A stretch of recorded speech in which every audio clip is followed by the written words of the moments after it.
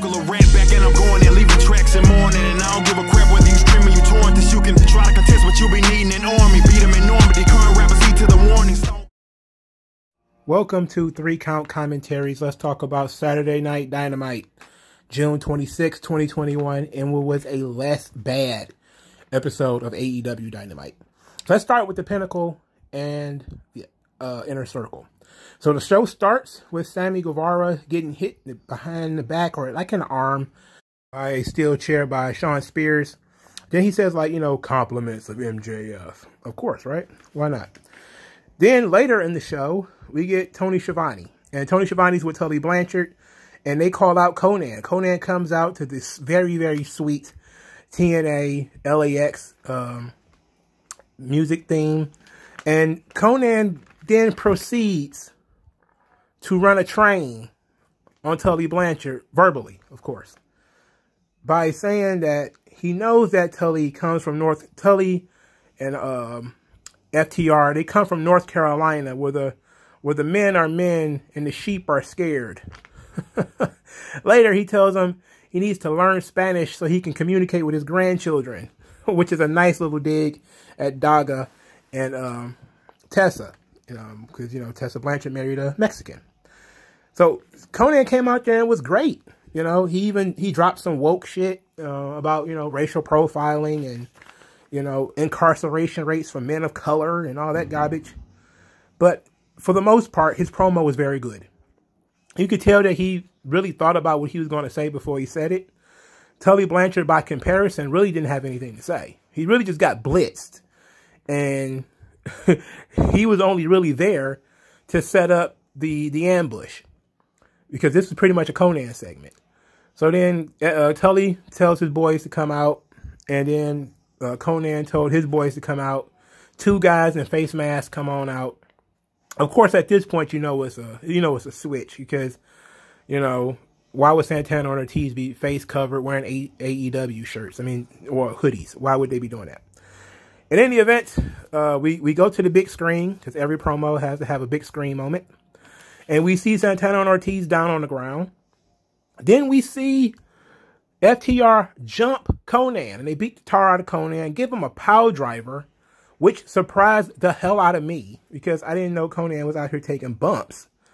Christ Lord. Konnan is out here taking bumps. I was very impressed. I loved this segment. This, this segment was very good. I want Konnan with these guys all the time.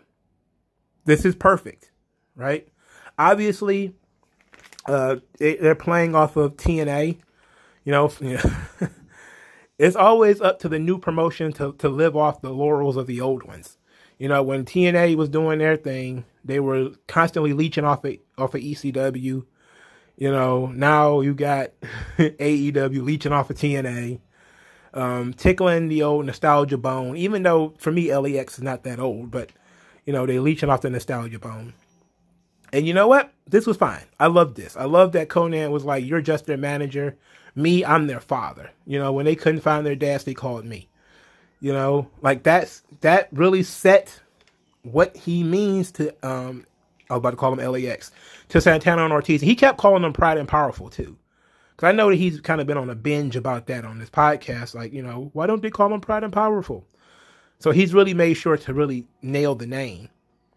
And then he got jumped. He took a power driver. So he really is doing what he can to help his boys get over. And I and I really love that. You know, I love Konnan for that. That was excellent. Later, MJF um, says that he sees why people are upset about what he did to Jericho, what Spears did about Sammy Guevara. But we should be thanking him for what he did to Dean Malenko. Because Dean Malenko is so old. When he was a kid, rainbows were in black and white and he gave him an early retirement, even though he's got a bad heart and Parkinson's. He's got no business being in the wrestling business. And um, I was kind of like, okay, you know, like they're constantly beating up significantly older talent. Again, Dean Malenko is a guy who, unless you're 30 plus, you don't really know Dean Malenko.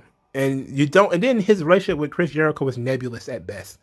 They were rivals in WCW they weren't really like best friends who went out and drunk with each other and all that kind of stuff. So we're in a we're in a weird position here. This one doesn't work as well you know, but Dean Malenko as a guy, and then it's not like we saw Dean Malenko for weeks and weeks and weeks. Again, I said this before. It's not like we've seen him for weeks and weeks and weeks, and then uh, this happens. It was like he was on screen once, and then this happens.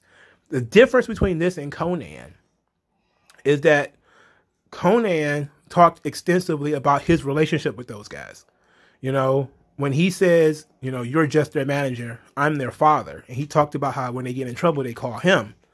When he talks about knowing them backwards and forwards, how they lived on the streets in New York and all that kind of stuff, he knew them, right? We got a like it still happened too soon, sure, but we he, we got the sense that Konnan knew them and that Konnan had a long history with these guys. Here, we don't know what the long history between Jericho and Malenko is because they did one segment together, and now Dean Malenko was thrust into this storyline where he's just one of the many old guys getting beat up by the Pinnacle. Um, so, uh, Jake Hager and Chris Jericho attacked the Pinnacle, and that's all four of them. You know, FTR, Spears, MJF, well, Wardlow, it's five, okay? So these two guys, well, it was four, I believe, at the time. And these two guys commenced to beating the shit out of all four of these guys. Two guys are beating up four. Each one, Jericho and Hager, are beating up two guys. And the two guys are like falling all over the, the four guys are falling all over the place. They're tumbling all over the place. They don't look like badass heels at all. And then I believe uh, who came? Somebody came in to give them the advantage, and they they knock him down. Boom, boom, boom. Get Jericho down. Get Hager down. And MJF is now about to bash Jericho in the arm with a steel chair. And then here comes Sammy Guevara. And Sammy Guevara comes in, he hits the ring, and with a steel chair, a 60 pound cruiserweight ran off four guys with a steel chair by hitting them with the chair. And then he grabbed the mic and he says that, you know, this company chose the wrong guy for the action figures. He's got this company chose the wrong guy for all the posters. Wednesday, I show you why I'm the best ever, and you know it. And I was like, you know, he got a huge response when he came out. They played his music, you know, before he came out, which I'm, I'm not a fan of, but it was effective. He had a huge response. He got a big heroic uh, comeback. He got to beat up every member of the Pinnacle, which I didn't really like. You know, I would have rather him hit two of them and the other two scatter or something like that than him beating up everybody. It's just not believable. You know, he's paper thin with a bird chest. I just don't believe that, you know, even with a steel chair, people are that scared of Sammy Guevara. You know, like you can't do every spot with everybody. I think that that might be the the long and the short of it. You can't do every spot with everybody. You know, there could have been other ways that they could have done this. I can't think of any off the top of my head. But I'm okay with Sammy Guevara being the guy to make the save. But then we also kind of said to ourselves, okay, he got hit with a chair, and then they were like, is he going to be okay for Wednesday? It was like he was he was all right a, a half hour later. He was literally okay uh, 40 minutes later or something something like that. We could have done something cool, like sent him into the Wednesday match injured, which would have given him a good excuse to lose, and he really should lose. I don't see why he needs to beat MJF. But they did a good job of making Sammy Guevara seem legit. Okay. I'll give them credit for that. I don't really like the segment because again, it just it was just the inner circle making the pinnacle look stupid by beating the hell out of them routinely. Like I get the babyface shine, cool, but four on two and the, and the, four are losing, and then this is after you put their face in the toilet and all that other kind of stuff, right? Like we had two big blow off matches in this feud, three because we had the, the MMA fight had three big blow off feuds for this feud already. And it's still going.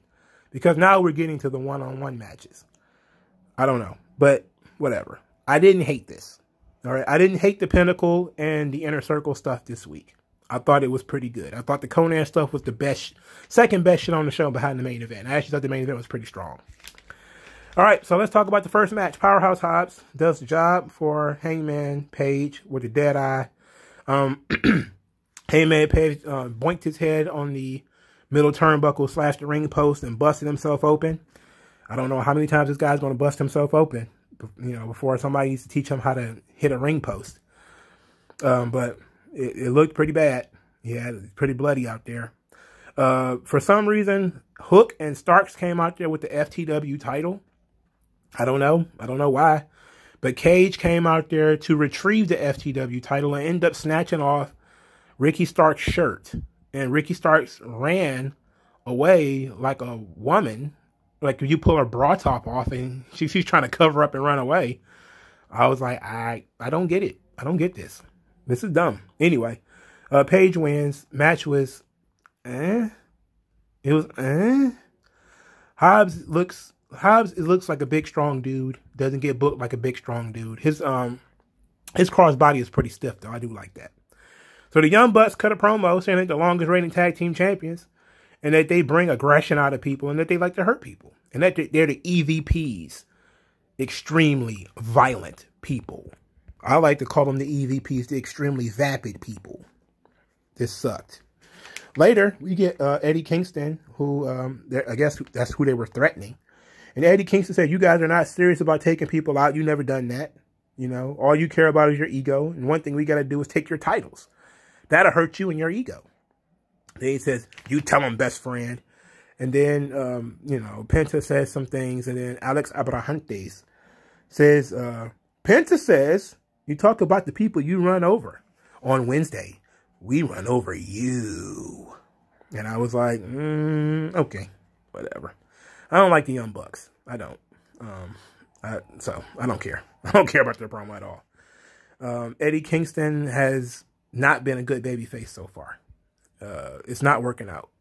and it's, it's sad because I wanted it to work out. But it's not looking good so far. This tag team thing is just not really working out for him. So Matt Sydal and Dante Martin. That match is about to start when Vickie Guerrero comes out. Excuse me! Excuse me! And she's she um, introduces Andrade El Idolo, who actually gets a crowd response this time, but not a big one. He gets a he gets a minute crowd response this time, and um, she was said that they had a they had something to say. They had a big announcement, and it got cut off by Matt Sydal coming to the ring. Um, Andrade was like he's about to jump Matt Sydal from behind. You know, Vickie kind of stopped him. Uh, so I'm guessing Andrade's uh, first opponent is going to be Matt Sydal. Um, that's not good. That's not good at all, dog. Um, I know you have to get him some wins before you can. I know AEW does say, oh, they want to give them some wins to build them up or, or something like that. But you really should just put the guy in a feud. You know, let's put him in a feud with somebody and not something like you talk, you you walking through my promo. You know, it's like, come on, man. And plus, we know he's going to beat Matt Sydal, so who cares? Um, Matt Sydal defeats Dante Martin. They did all the flips in the world. Um, this match was uh, literally for no reason. It was just gymnastic masturbation. Gym masturbation. Uh, that was pretty much it. Uh, they, so physically, it was fine, but whatever. Jungle Boy, who says in interviews that he doesn't like doing promos, uh, is backstage and he's about to say, he says about a word, a word and a half, before Christian Cage comes up and says that he shouldn't just be happy to be here, that people think you don't deserve this, and Kenny Omega is one of them, and you shocked the world when you won the Battle Royal, now you shocked the world again. And the big promo for Jungle Boy is, thanks, thanks, man. I knew he wasn't going to win the title already. They did not do a good job of making me think he was going to win the title leading up to this match. This was not good. He needs to learn how to fucking talk. He needs to learn how to talk for himself. Even if it's just enough to get through a promo. He needs to know how to talk for himself. He needs to know how to talk for himself. All right? If he doesn't want to talk, that's why you make him talk. He needs to know how to talk for himself. I'm sorry, you can't be a main event guy and you can't talk. You know, or you don't have a manager. So either give him a fucking manager which it would be weird because he's a babyface and an undersized babyface at that. But, you know, they, they, really getting on my nerves. But the match itself, let's talk about the match now. Jungle Boy versus Kenny Omega. So everybody comes out, you know, uh, Marko Stunt's out there, Luchasaurus is out there, the Good Brothers are out there. The referee, you know, because Marko Stunt, for some reason, is being rowdy, the rowdiest midget of all time, the referee just throws everybody out to make this match purely one-on-one, Omega Jungle Boy. Now, what made this match dope was the crowd. crowd was super behind Jungle Boy. He had incredible energy for him. It was GOAT. Even though, you know, Jungle Boy has no chance of winning, it was still people biting on every little uh, two count that they put forward. I really enjoyed this. It was not too much as far as Kenny Omega's performances of him doing spamming knee strikes and stuff like that. And I actually liked how he got him in the snare trap when he um, countered the knee strike into the snare trap. It was a great spot. Then the, um, the Good Brothers came out there. Well, I think it was Karl Anderson, and it, they fought off because that's what they do. They fought off. Um, and then eventually Kenny Omega's, you know, his experience, his skill, just too much. Tiger Driver 98 gets a two count, one wing angel uh, gets the three. Good match. It, the best way I can explain it is it, it wasn't quite. I, I was watching this thinking to myself, okay, are they, are they going to have a Bret Hart one two three kid style match? And you know that was it was close. You know, it wasn't quite Triple H versus Taka Michinoku. But it was more like Triple H. No, it wasn't Triple H. It was Randy Orton versus Cody Rhodes. You remember that episode of Raw where Cody had a really good match with Randy Orton, and um, it it looked for a moment like Cody would win, but he lost. That was that's what this was. You know, it felt like this guy really had a chance of winning. You know, even though you believe, you know, going into it, he didn't really have a chance. But they booked him really, really strong, really, really well. He was able to counter a lot of what Kenny Omega was doing. He was able to keep up with him athletically. So it was it was fun. It was a fun match. And then they overdid it at the end. Because after Jungle Boy gets beaten, Omega starts to uh, do some extra damage. You know, he's a heel. Okay. Then Christian comes out for the post-match save and Christian fight, fights off Kenny Omega, and then Matt Hardy attacks Christian. So you know, um, because their their feud is long term and forever, apparently. Okay, Christian and Matt Hardy is you know still a thing, but they're setting up Christian versus Omega. Okay, cool. You know that match should have happened at the pay per view instead of that stupid triple threat match, which you could have had on TV. Um, but okay, you know, um, I guess we're going to take it. We're going to take the long way there, but I guess we're, we're going to still get there. So, all right. Let's see. Hashtag Jade brand. 10% off Jade merchandise. That on a, with a code that B on her t-shirts. Then she says, I'm one of one. No one looks like me. I'm that bitch. And she rips the shirt. Eight weeks straight of, of Jade just standing, standing still, saying she's that bitch. And I saw Access Media like, oh my God, she should be in Marvel movies. She's such a movie star. I'm like, eight weeks of just standing in one place cutting promos. She stands in one place and literally says one thing. and it's been like eight weeks of this. Come on, bro. Like, let's be real. Let's be real, man. Her only talent is standing still and looking ripped. That's pretty much it. I mean, what little we've seen her do has been very little. You know, if she was really like this huge star, she would at least be on TV winning matches. She's literally doing nothing. Uh, so I don't get it. And uh, it makes no sense that they would, you know, go through all this stuff and have her teamed up with this weirdo, this Mark Sterling. And we're literally not getting anything out of it.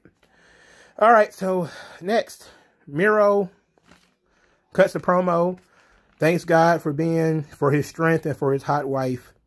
Then says that, you know, people are standing in the way of a righteous man in his path as he tries to protect a, a lonely woman or something like that. It's like standing between a predator and his meat or, you know, something to that effect. Said he's going to show y'all why God, God, he's God's favorite champion. And that attacking him was the stupidest thing Brian Pillman Jr. has ever done. So then Brian Pillman Jr. says, you know, that uh, Miro has a Messiah complex and that he got a complex too. It's that that he was born on the wrong side of the tracks and had to fight for everything. I mean, it was fine, whatever, but we know he's not gonna, he's got no chance of winning either, you know. Uh, this version of Miro has been pretty good. He's still been kind of humorous um, with him being God's favorite champion and everything. But it's uh it's not completely stupid. You know, it's him coming across as being very menacing, and I enjoy that because he looks the part. So that's good. Uh, next match, Ethan Page versus Bear Bronson. In a match that felt like, oh my God, uh, AEW Dark Evolution has invaded AEW Dynamite. This match sucked, of course. Uh, Page wins with an ego's edge. And then Page challenges Darby Allin to a coffin match. Post match, he he challenged him to a coffin match. All right, um, I guess it, it seems to make sense. They guess they have history. We haven't seen the history. They haven't talked about the history. They just well, they talked about it. Well, Ethan Page just talked about it. We haven't seen any footage. We we didn't build up you know, over time. This kind of thing. It just comes across as being we need to have a some type of garbage match to put on TV. And you know what? It's fine. So following this, Vickie Guerrero and Britt Baker, they had dueling promos.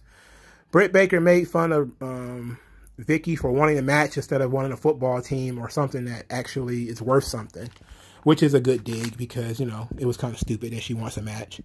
Then she says that, you know, she's the face of a new era and excuse me in advance for beating your ass. Vickie Guerrero says an opportunity to solidify Nyla Rose as the number one contender and that they, you know, I guess they're teasing still that there's some kind of surprise.